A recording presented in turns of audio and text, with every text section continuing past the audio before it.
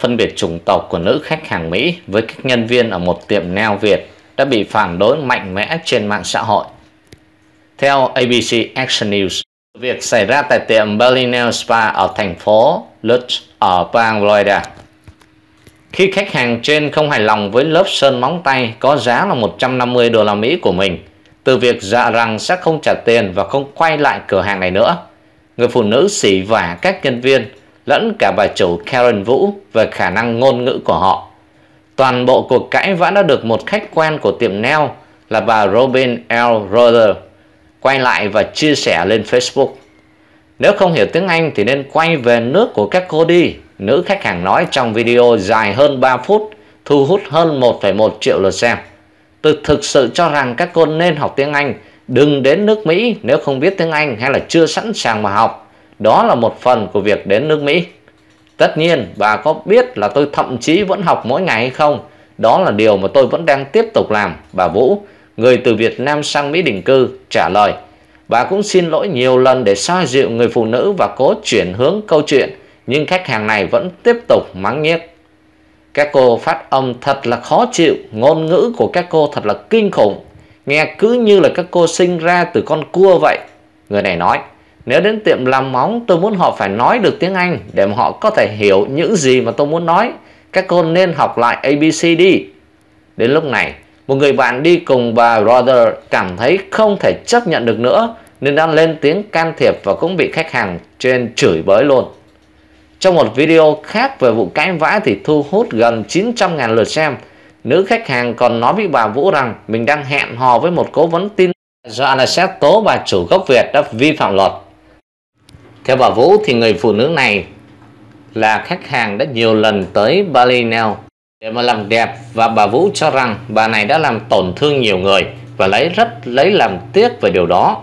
Mở tiệm nail đã 10 năm nay, bà cho hay đây là lần đầu tiên đối mặt với sự phân biệt chủng tộc như vậy. Các khách hàng là bạn thân nhất của tôi, tôi đã cố gắng giúp bà ấy đẹp hơn, làm cho bà ấy bình tĩnh, nhưng bà ấy vẫn tiếp tục, bà Vũ nói. Trên mạng xã hội, nhiều người chỉ trích gay gắt sự miệt thị chủng tộc của nữ khách hàng trên và bày tỏ sự ủng hộ với tiệm nail Việt. Theo bà Vũ thì ít nhất 3 người đã đến salon và tặng cho bà số tiền. Người khách nọ đã từ chối. Nhiều người khác đã gọi điện tặng hoa, tặng bánh cho bà Vũ khiến cho bà rất cảm động. Một người tên là Jennifer đã lái xe 30 phút đến salon để mà tặng tiền bo sau khi xem các video. Tôi chỉ muốn đến đây nói với họ rằng họ không xứng đáng bị đối xử theo cách như vậy. Dù từ là người phụ nữ đó hay là bất kỳ ai khác Cô nói và thêm rằng sự việc là không chấp nhận được.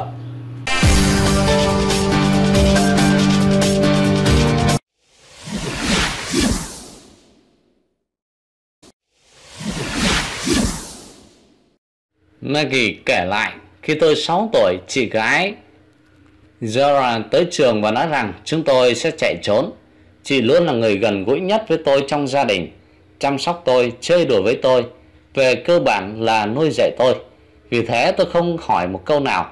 Tôi nhớ nhà, nhưng tôi cũng tin tưởng rằng Zora biết điều gì sẽ tốt nhất cho tôi. Trước năm tôi 12 tuổi, Zora vẫn là chị gái của tôi. Khi biết sự thật, tôi thực sự hoang mang. Bỗng nhiên anh chị lại là bác và là dì tôi.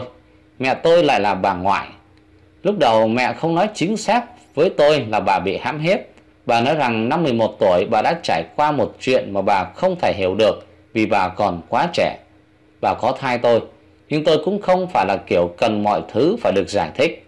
Tôi hiểu rằng một đứa bé 11 tuổi chẳng thể quyết định việc đó có thai hay là không. Và những gì xảy ra không phải là lựa chọn của mẹ tôi. Tôi chưa bao giờ muốn biết về bố, bởi vì ông ấy không đáng được biết.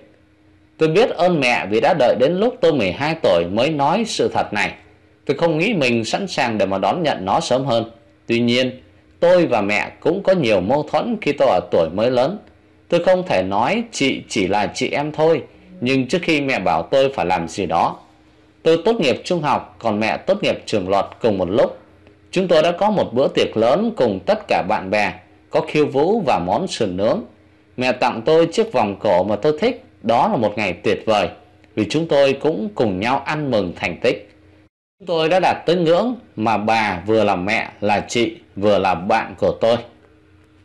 Khi chúng tôi đi cùng nhau, các chàng trai luôn hỏi, Các bạn là chị em phải không? Nhiều lần chúng tôi đã cố gắng giải thích Nhưng sau đó chúng tôi thử những cách khác Họ sẽ nói Các bạn sinh đôi phải không?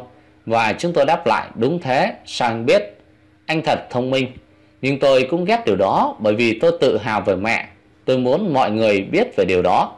Trong những ngày đen tối nhất, Đôi khi tôi nghĩ là bản thân mình là một sai lầm, Bởi những gì xảy ra với mẹ thật là kinh khủng. Nhưng bà luôn nói với tôi rằng Trải nghiệm đó là tích cực, Bởi vì bà đã có tôi. Bằng tình yêu và sự chăm chỉ, Tôi đã biến những thứ xấu xí thành những điều tuyệt vời. Chúng tôi đã có mối quan hệ bạn bè thực sự. Khác với mối quan hệ một phía mà người này chăm sóc cho người kia. Và điều đó cũng giúp cả hai chúng tôi. Mẹ tôi là người mạnh mẽ nhất mà tôi từng biết. Tôi không biết bà đã lấy được sự mạnh mẽ từ đâu Nhưng tôi biết sức mạnh của tôi là từ mẹ.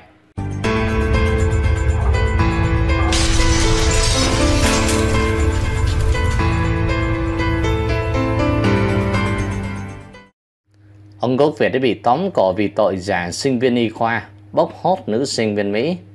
Theo bản tin của nhật báo New York Daily News, nhân vật trẻ sinh viên này là anh Bùi Vũ Nam, 31 tuổi. Nam bị tố cáo là đã sờ soạn ít nhất một phụ nữ sau khi nói với cô ta rằng anh ta đang thực hiện một cuộc nghiên cứu về phương pháp truy tầm bệnh ung thư sống. Anh đã đến thăm trường đại học Middlebury College tại Vermont để mà thực hiện cuộc nghiên cứu. Trong buổi trình bày tội phạm trước tòa, công tố viên Dennis Weissman đã nói với thẩm phán Samuel Hall về anh Nam. Anh ta nói rằng anh có thể biết một phụ nữ có bị ung thư tử cung hay là ung thư vú. Và như thế là anh ta đã đánh vào sự lo sợ nhất mà một phụ nữ trẻ tuổi có thể có. Bùi Vũ Nam đã không nhận tội trước cáo trạng được đưa ra mà trong đó có các tội như là quảng cáo dịch vụ y khoa bất hợp pháp, nhìn lén người khác và tấn công tình dục. Nam sống tại Houston, Texas. Các tội trong cáo trạng có khung án là từ 3 năm cho đến tù trung thân nếu như bị kết tội là tấn công tình dục. Bùi Vũ Nam đã bị bắt vào ngày 9 tháng 10. Trong ngày đó, các nhân viên an ninh của trường Middlebury College nhận được tin báo rằng là có một sinh viên đã sờ mó một sinh viên trong ký túc xá. Nơi mà anh Nam nói rằng anh đang thực hiện cuộc nghiên cứu dành cho trung tâm y khoa Dagmar Hitchcock Nam đã đến trường này để thăm một người bạn, nhà chức trách điều tra và không thấy anh ta ghi danh học tại bất cứ một trường y khoa nào. Các điều tra viên cho biết là Bùi Vũ Nam đã nói với các bạn của cô sinh viên nạn nhân rằng chương trình nghiên cứu của anh sẽ trả thù lao từ 500 cho đến 1.000 Mỹ Kim cho người tham dự cuộc nghiên cứu truy tầm ung thư sớm. Làm sao biết được Nam là nghiên cứu ra thiệt hay giả? Trong ít nhất một cuộc khám nghiệm, một cô sinh viên đã thấy anh Nam nhà ta không mặc quần và còn đặt máy thâu video để ghi lại hình ảnh anh sở chỗ kín của cô gái. Theo hồ sơ truy tố cho biết, các luật sư biện hộ cho Nam nói rằng vấn đề chính yếu cần được tranh luận đó là sự đồng ý hợp tác của các cô sinh viên. Bà Lisa Sefrod, luật sư của Nam, nói rằng sự đồng ý hay không là một câu hỏi rất phức tạp. Không phải không có sự đồng ý. Nhìn bên ngoài, nguyên đơn đã đồng ý cho người khác khám bệnh và đây là một trường hợp mà tòa án phải tìm hiểu nhiều hơn nữa để biết chắc là có sự lường gạt ở đây hay không. Và sự lường gạt ấy có phải là xuất phát từ sự đồng ý hay không? Để chấn an, các sinh viên trường Middlebury College đã từng loan báo về việc Bùi Vũ Nam bị bắt trong tháng 10. Middlebury College xem những cáo trạng này rất nghiêm trọng và đang hợp tác với Sở Cảnh sát Middlebury College. Ưu tiên hàng đầu của chúng tôi là bảo đảm sự an toàn trong trường học và cung cấp sự hỗ trợ dành cho các sinh viên.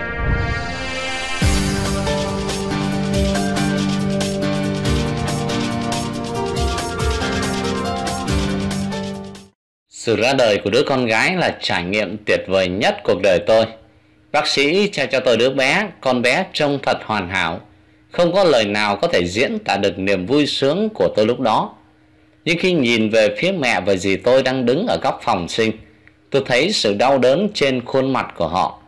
Tôi hiểu về việc nhìn đứa con 12 tuổi sinh nở khó khăn đến nhường nào đối với họ.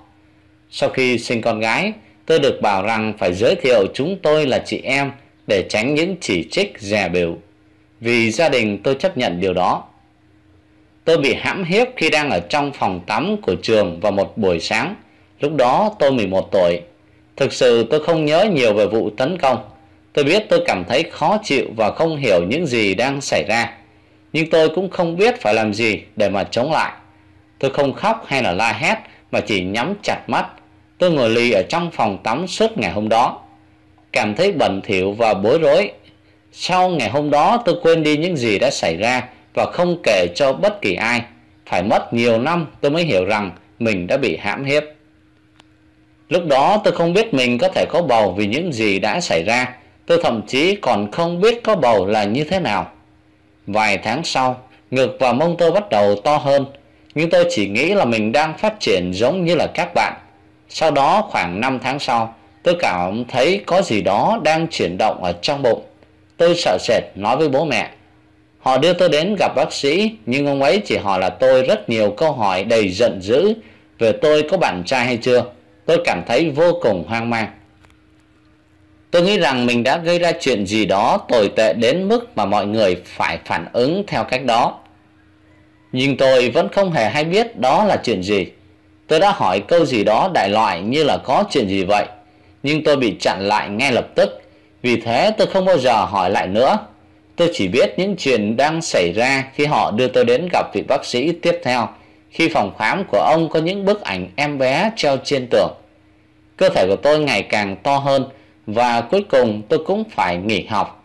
Tôi hiểu rằng việc có thai phải được giữ bí mật và bố mẹ giấu tôi trong nhà và nói với các anh chị em của tôi rằng chúng tôi sẽ nhận được nuôi một đứa bé.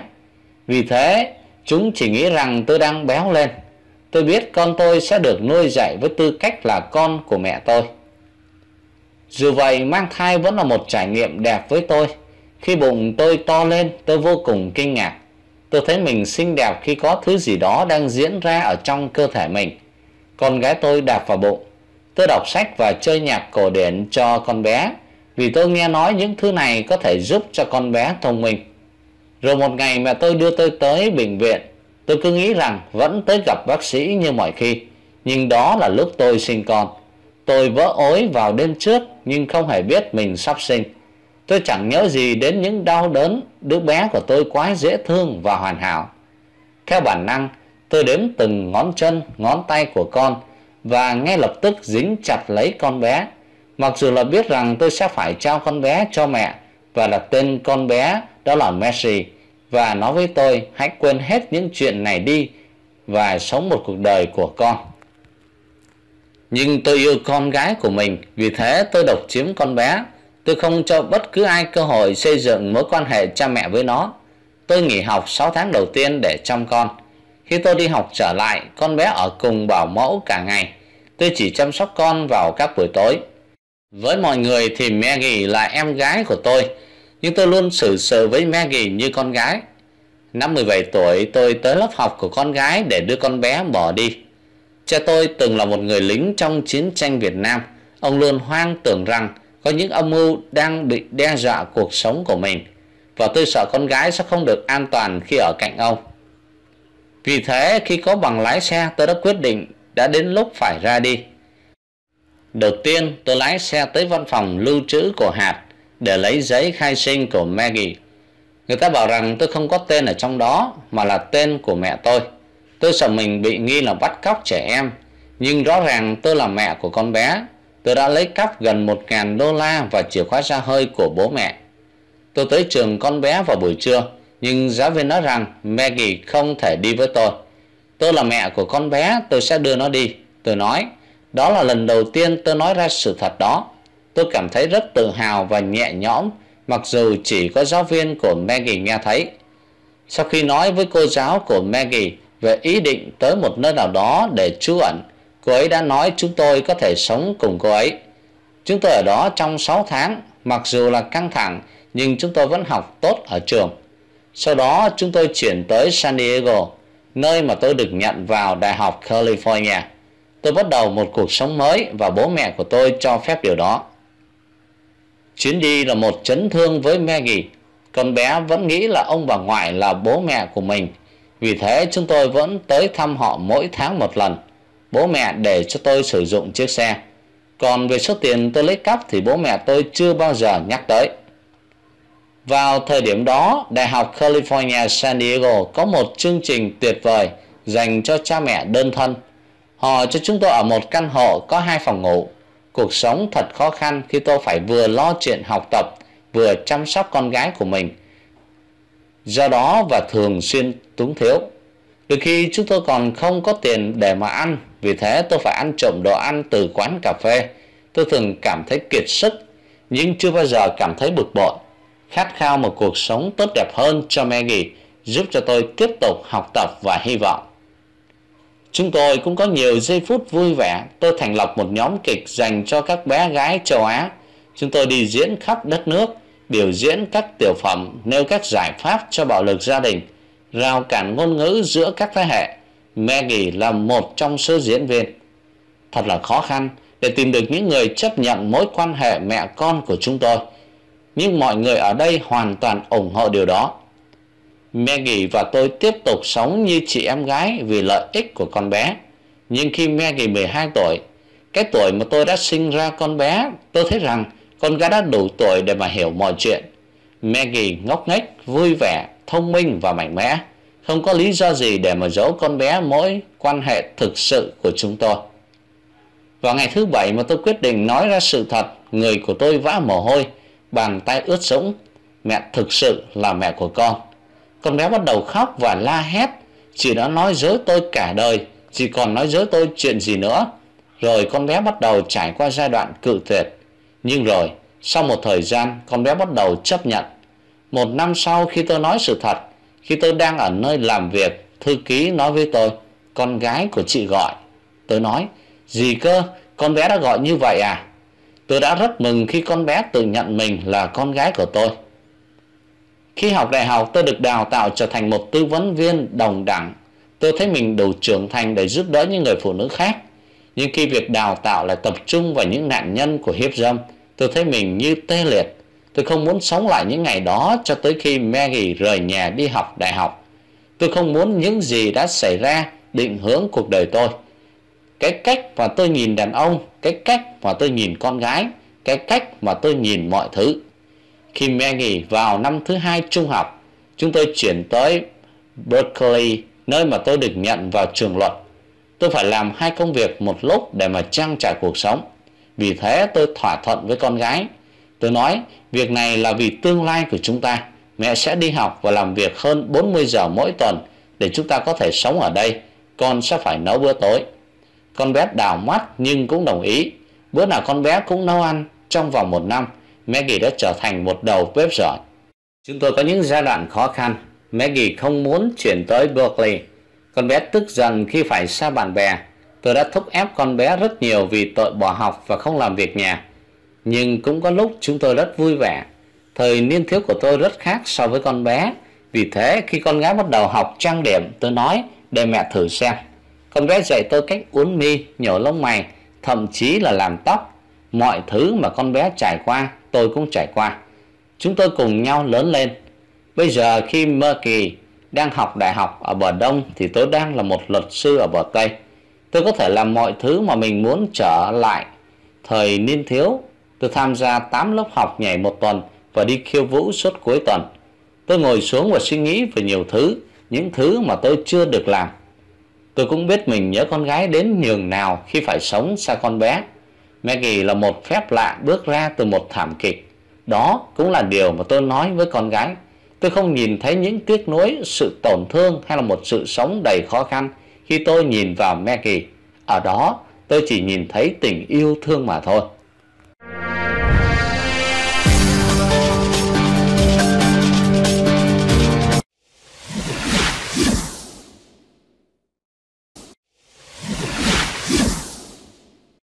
Kính thưa quý vị, một chút thông tin kênh xin gửi đến quý vị. Xin chân thành cảm ơn quý vị đã dành thời gian quý báu để lắng nghe, cũng như dành thời gian để nhấn đăng ký và thích kênh, để quý vị có thể nhận được những video mới nhất từ kênh. Xin trân trọng.